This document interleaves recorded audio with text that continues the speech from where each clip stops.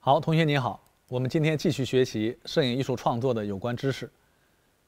那么今天呢给大家讲一讲特写景别。所谓的特写呢一般是指拍人的话是指人的肩部以上。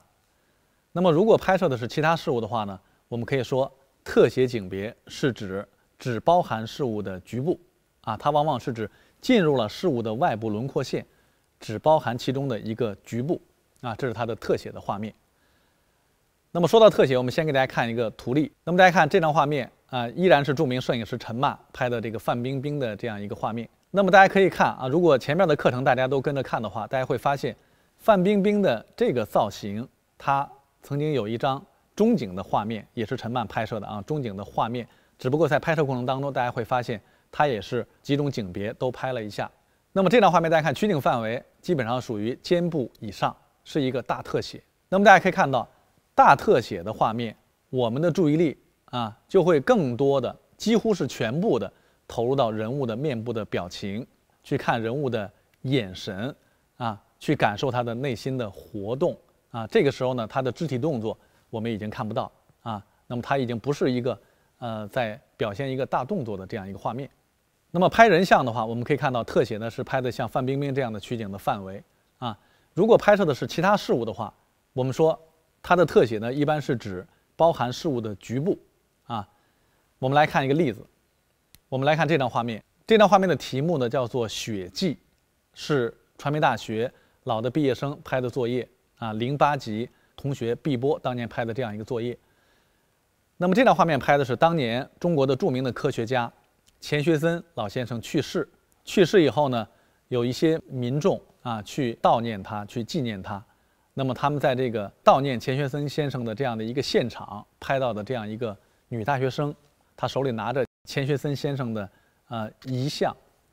拍了这样一个局部的画面。那么这个就是拍的一个特写的画面，突出这样一个细节的部分啊，细节的部分。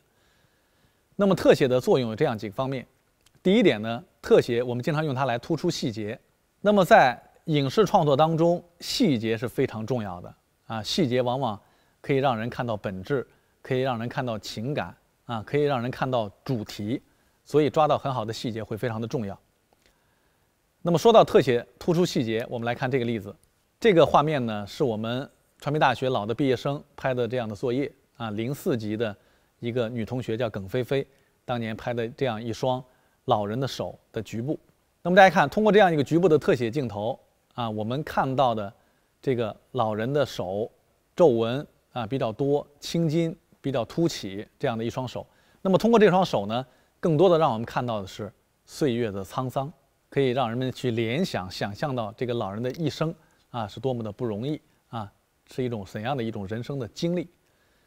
那么特写的第二个方面，特写景别的画面有一种透过局部看全局，透过现象看本质的这样一种特点。所以呢，有人讲，优秀的特写它不是作用于我们的眼睛，而是作用于我们的心灵。啊，好的特写，它会有一种打动人心的这样的一种力量。我们来看这个画面，那么这张画面大家看，拍的是这个俄罗斯的总统普京，当然这个是呃几年以前拍摄的普京的这样的画面。那么这个特写的人像的作品曾经登上了美国《时代周刊》的封面。这个画面拍的很有意思啊，大家可以看。那么乍一看，让我们感觉普京面无表情，并不是。啊，喜怒形于色的啊，但是呢，这张画面我们越看，我们越盯着它看，你越会发现，似乎你从当中能够读解出越多的这样的内容，啊，你可以看到普京的老谋深算，啊，你可以看到普京的胸有成府，你可以看到他那种啊坚强刚毅等等很多东西，似乎我们都可以看得出来，啊，通过这样一个面部的这样一个特写的画面，可以让我们去。结合普京的这样的经历啊，结合普京的这样的呃这个所所做的这样的工工作啊，可以联想出很多的这样的内容出来，内涵出来。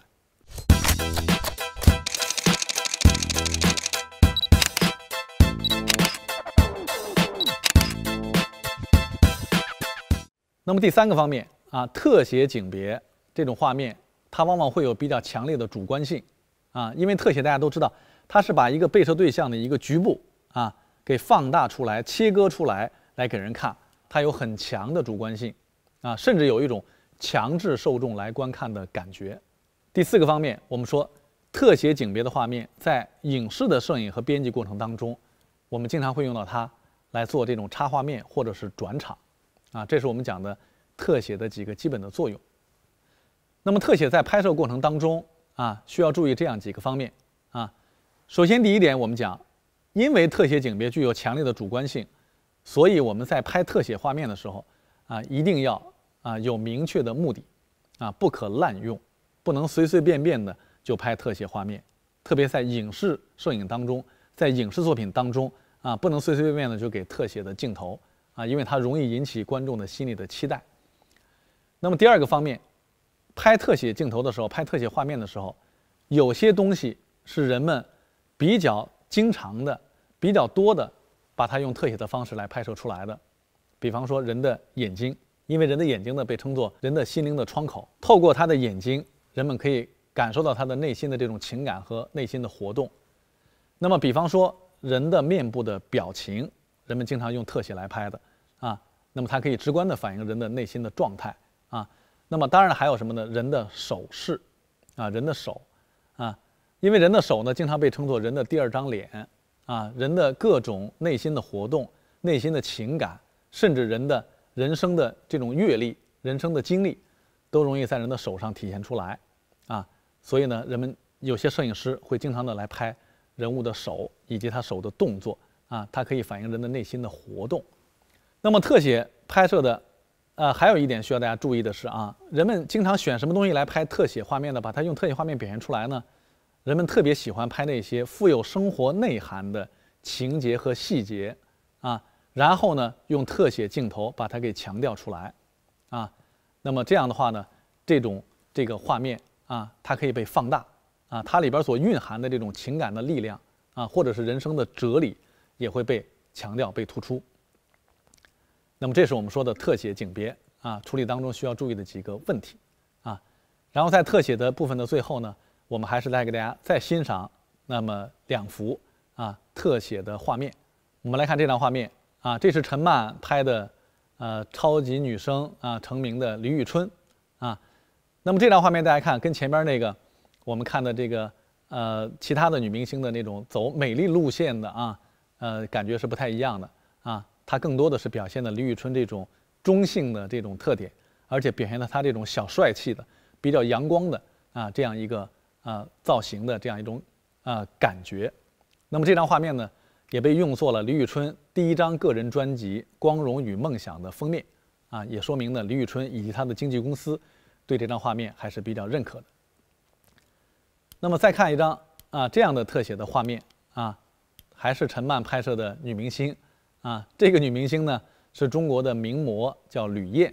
啊。那么这张画面啊，让我们看到。把吕燕的形象也是塑造的很鲜活啊，尽管我们说这样的两个明星的影像跟前边的女明星的影像相比起来啊，并不是那么漂亮，并不是那么养眼的，但是我们说呢，她的鲜活的这种感觉反而可能会更强烈，反而会更强烈啊。我们可以看到，把吕燕的这种开朗的这种性格表现得很充分，很充分啊。